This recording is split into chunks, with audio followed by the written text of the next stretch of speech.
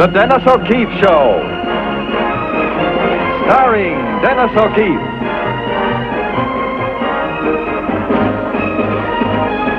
In All Around Town.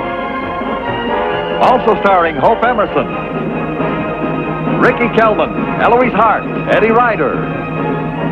Brought to you by Oldsmobile, in behalf of your local authorized Oldsmobile quality dealer.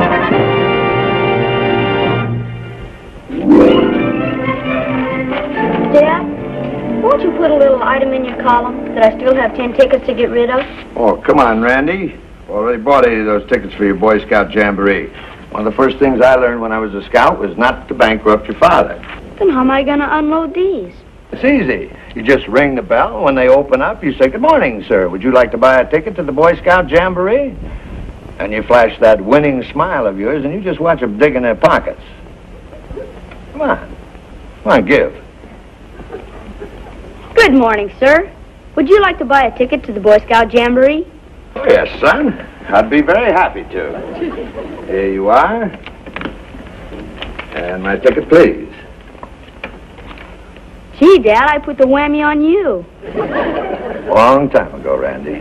Long time ago. Good morning, madam.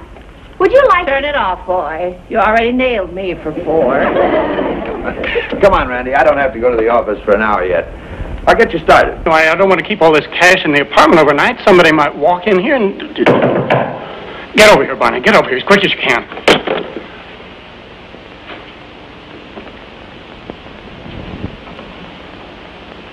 Oh, good morning, sir. Oh, I'm uh, Hal Town. This is my son, Randy. We live just down the hall. Yeah, what do you want? Well, we're selling tickets for the Boy Scout Jamboree. Likely story. You never take no for an answer. Get out of here. Get out of here. Take that midget with you. Don't let it get you down, son. He was probably drummed out of the Boy Scouts. All that money he had on him. You think he could afford a dollar? Yeah, wouldn't you? Well, Mrs. Harmon will give us a much friendlier reception. Dad, she moved out last week. People by the name of Valentine live here now. No, is that so? Oh. Hello. How do you do? I'm Hal Town. This is my son, Randy. We're your neighbors in 12A. It's so nice to meet one's neighbors. I'm Mrs. Valentine. Mrs. Valentine. I wonder if we could interest you in a ticket to the Boy Scout Jamboree. They're only one dollar. You wait right here. I'll get some money for my husband.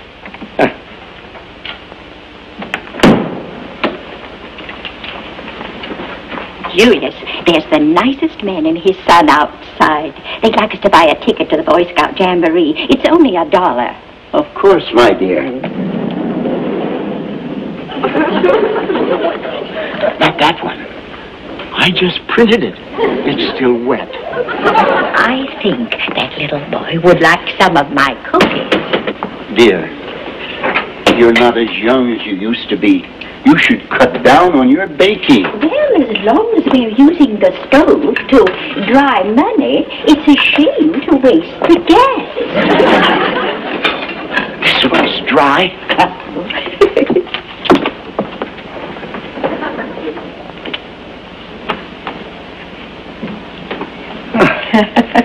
I'm sorry to have kept you waiting. All we have are five dollar bills. Oh, that's quite all right. There's a change right here. Let's see. Uh, there's your dollar, Randy. One, two, three, four. And there is your change, Mrs. Valentine. And here's your ticket. Oh. These are for you, Randy. They are? Thanks a lot. Oh, fresh cookies. huh? Oh, oh, don't forget, that ticket is deductible. Sarge, the man in the grocery store says you gave him that bill. I say again, Mr. Pulaski, I don't care if you are with the Treasury Department. Oh, Sarge, wait a minute. Dan's not calling you a counterfeiter. All he's saying is that you're the one that passed the phony five to the grocery clerk. Henry, I never thought I'd live to see the day that you'd hang a bum rap on me. I'm quitting. Now, wait a minute, Sarge. You're not quitting. What's the matter with you, Dan? How can you offend it like that? All Dan wants to know is who gave you the phony five so he can throw him in the clink. Now, think. Who gave it to you? You gave it to me. Now, we're getting some... I... Well, she's right. Yes, I did give her a five dollar bill, but I also gave you two tens. Now, come on, Sarge, tell the nice man. Where did you spend your money? Who gave you some change?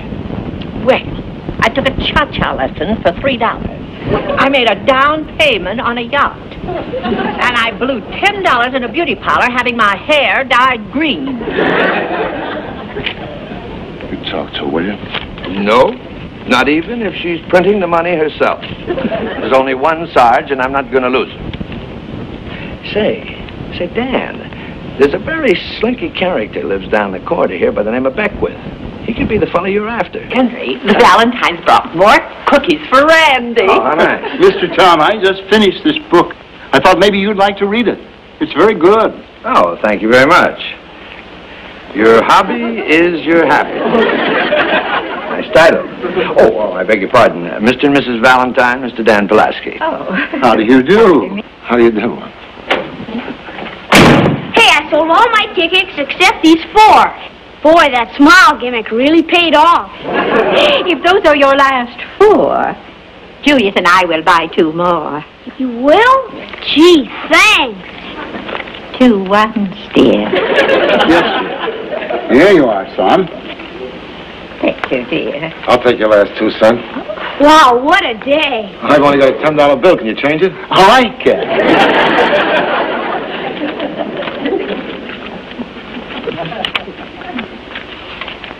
Thank you. There you are, son. Dad, have you changed for a five? Yeah, I think so.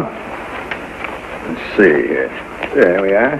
One, two, three, four, five. Yeah, ready? Right. Thank you, son. Well, I've got to report in. Tell Miss Hadley and your secretary Elliot I want to see him in your office this afternoon. Yeah, well, well, wait a minute, Dan. I'm going down there right now myself. I'll ride downtown with you. I can call Miss Hadley from there. The bills are being passed in a radius of three square blocks. I'm going to nab that counterfeit if I have to search every apartment in this neighborhood. Good boy. Don't forget this Beckwith fellow. Who is Mr. Pulaski? He's a T-man. And with him on the case, that counterfeiter doesn't stand a chance. Well, Sarge, I've got to go turn in the rest of my scout money now. Well, on your way back, Randy, will you stop at the grocery store and get me I have over $300 on me. You've got to get rid of it, dear. And hurry right back. Oh, I will. Miss Sargent, if you'd like, I'll write out the recipe for the cookies. I'd love to have There's a trick about greasing the pans that I want to show you. So let's go into the kitchen. Julius, why don't you occupy yourself with a book? There's nothing like a book to get rid of your problem.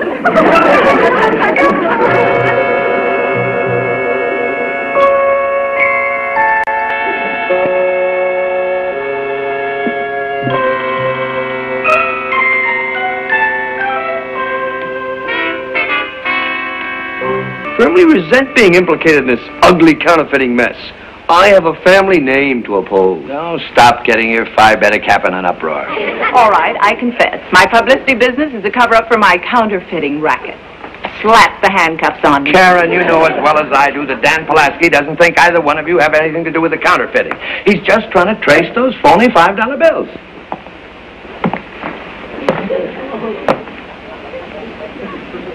Well, you're late. I guess I am. Would you like to know why I'm late? yes. I was detained. Oh. At the city jail for trying to pass this $45 bill. You know, Julius, this convertible printing press is such a clever idea. It's a shame you couldn't exhibit it at the home show. It is too bad. But I don't have my invention patented. And I'm afraid some fella might steal the idea. Well, anyway, I know what a creative person you are. And you're very creative too, dear. Why, this is a magnificent piece of work. Oh, it was my first fling at needlepoint.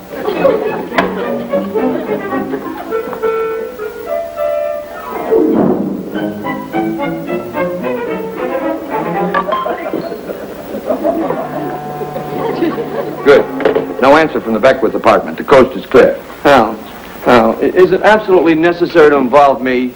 I'm very happy to serve as your secretary, but not as your cellmate. Oh, there's no Sing Sing fever connected with this, Elliot. I just want you to stick around and rush the story to the paper when I crack the case. Well, what makes you so positive that Beckwith's the counterfeiter? One, when Randy and I knocked on his door the other day, he was afraid to open it. He was also very nervous and shifty. Two, he had a handful of money, and when he saw me looking at it, he hid it behind his back. Come to think of it, it reeked of fresh printer's ink.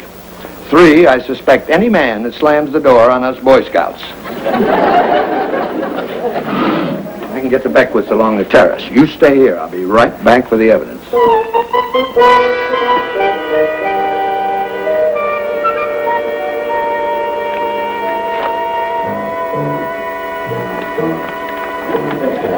Oh, look, Julius, it's that nice Mr. Town.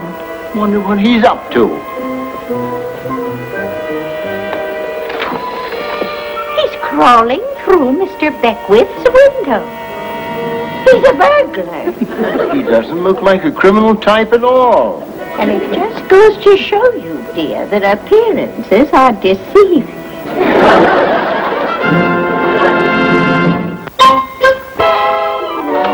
Cauliflower. No cauliflower. No cauliflower. Beckwith's money is all good. Well, then it has to be returned to him. Yeah, yeah. Here, take it back. The least you could do is ask for volunteers. Oh, well, now, Elliot, look, please. Elliot, I can go to prison for this. Mr. Town, you have a choice. You can either go or they'll drag you. Elliot, come back here.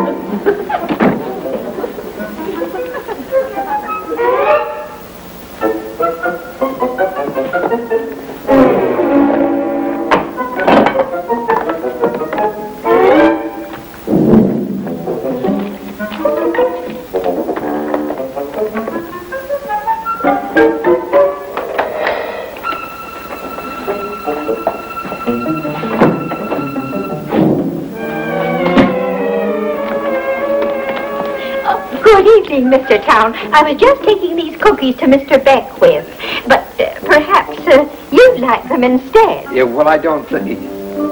Uh, yes. Yes, well, thank you very much, Mrs. Oh, Valentine. Oh. Mrs. Valentine, I wonder if you'd do me a little favor. I'd be glad to. Uh, would you return this to Mr. Beckwith for me, please? Oh, yes, I'm so glad. You sleep better now, won't you? Yeah? Yeah, oh, and uh, if uh, she acts a little upset, just uh, ignore it.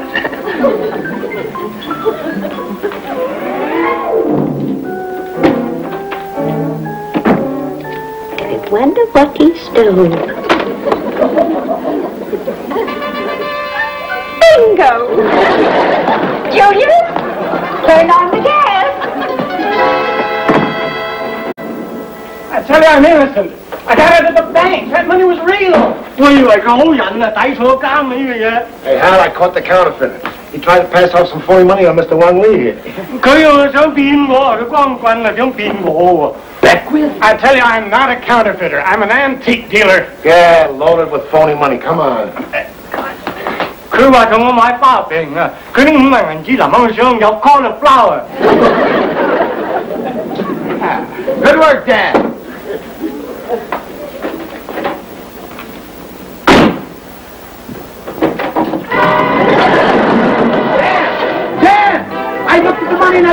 Myself. It's good. Dan, you're hanging an innocent man. Good morning, Mr. Town. Conscience all clear?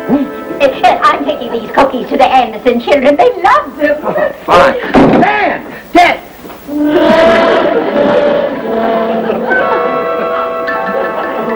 No. Oh, no, not that sweet old lady. No, don't let the cookies fool you. She and Julius are the cauliflower kids, all right. I can't believe it. Well, all I know is that when I gave Beckwith's money back to him, it was legal tender. And the bills that Emily gave him were as phony as a $50 mink stole.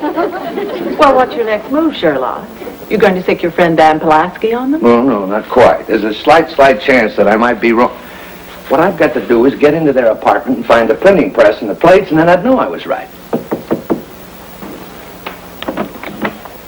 Hello. Yes.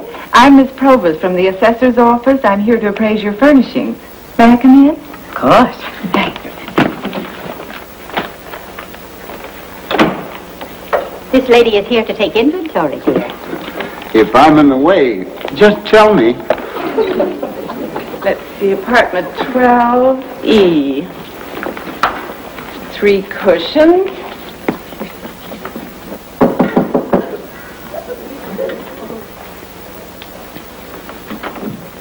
Oh, come in, Mr. Town.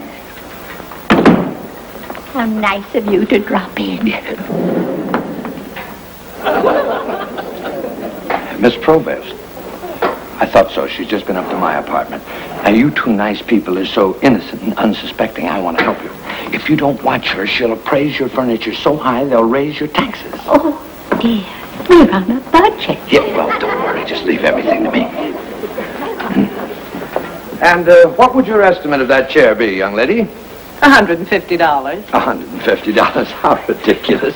Well, look, all you have to do is feel it, and you know that that's kapok. It isn't down. There's hardly any springs at all, and uh, very little padding. And as for the workmanship, look underneath there. Do you see anything? No. You don't. Oh, well, there you are. You see, it's hardly worth more than, oh, say, $50. All right, $100. Uh, what about this Oriental? Oriental. My dear young lady, if you'd ever been in Armenia, you would know that you can tell an Oriental rug by the feel underfoot. And this is definitely not an Oriental. Uh, I've already appraised those. Oh, I see. Yes. This looks like an original. An original. Why, now look. Oh, I'm terribly sorry. I've knocked over your pretty magazine rack. An original? Why, it's obviously nothing but a print. I'll prove it to you. You see that there's absolutely nothing back here that would even indicate that it's an original. Look at the frame. You can buy the frame for $2.98 in any dime store. I suppose now you're going to tell this nice couple that these simple little bookends are worth a fortune to them. This is a lovely antique. You're referring, I suppose, to this imitation needlepoint? I don't know how you got this job, Miss Provost. Now, look, all you have to do is feel that, and you can tell. And look under there, you see that it is absolutely nothing but a rank imitation. And I suppose now that you'll tell us that this is a priceless heirloom or something. The workmanship on it is just terrible. Nails don't dovetail. Julius, do you have a feeling that something isn't quite kosher? Emily, I think they're trying to nudge us into the clink. All right, $30. Well, that's better. Huh? $30, you see?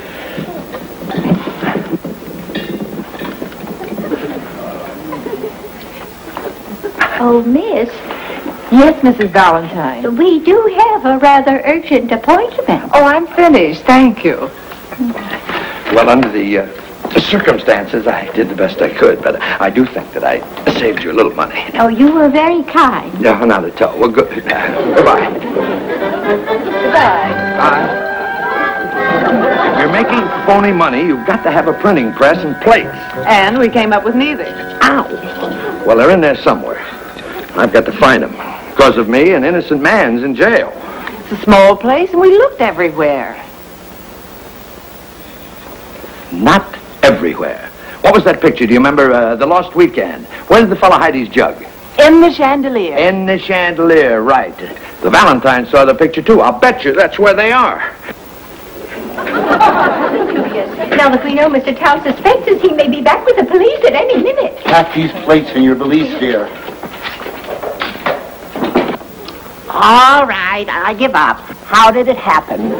Oh, we Uh, don't tell me. I'd rather not know. Relax. Unclench your fist. Oh, thanks. This I don't need. Hey, wait a minute. Wait a minute. Julius's book. That's how I'll get back into the apartment. I'll return it to him. I've got a better idea. Hmm? Stay here, read it, and keep out of trouble. Don't never mind about that. Just call Pulaski. Tell him to get over here and collect his counterfeiters. Who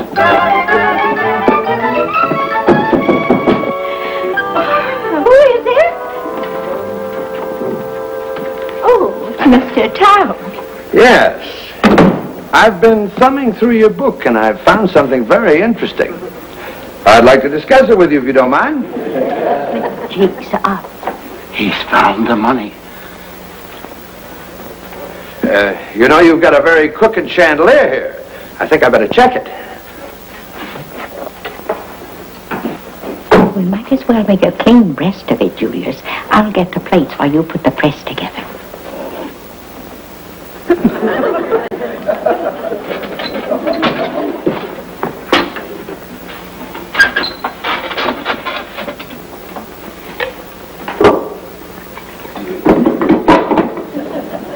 What are you doing? I'm putting the press together for you. Oh. The press. Here are the engraving plates. The engraving plates? We know when we're licked. Oh, uh, you, uh,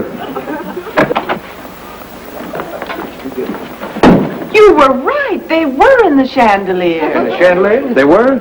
Um, I mean, no. Yes. What an ingenious way to disguise a press. How did you ever discover it, Hal? Well, it was easy. Uh, he started to put it to... Uh, uh, I mean, uh, well, I'd rather not talk about it now. He's the modest type, Dan.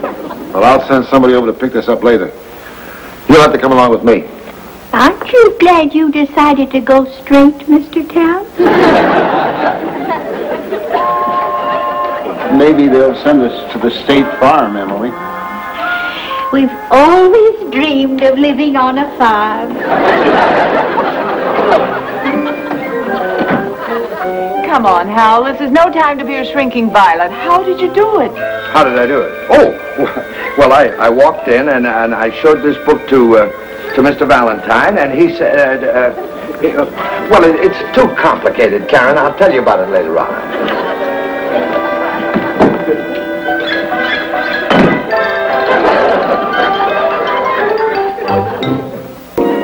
So Emily and Julius Valentine will live out their years on a state farm, happily ever after.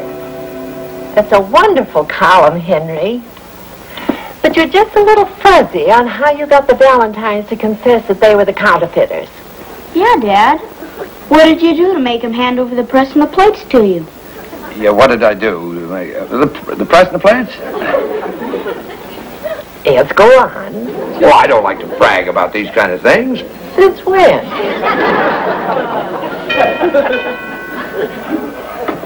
Main thing is I caught them. How I did it doesn't matter.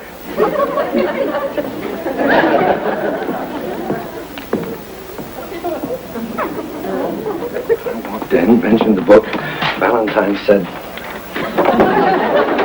Good morning. I'm Mrs. Fasano, your new neighbor. I just moved into apartment 12E. Oh, the Valentine place. Yes, I bought all their things. Uh, rather dusty. I hate to bother you, but I need some change to tip the housekeeper.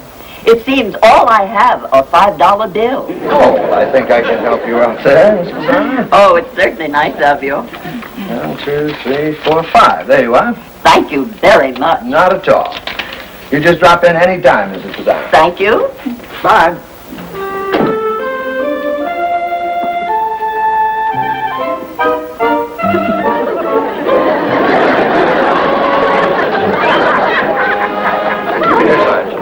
Take that five dollars and for heaven's sakes give it back to that grocery man you gave the phony to. I'm glad it's all over.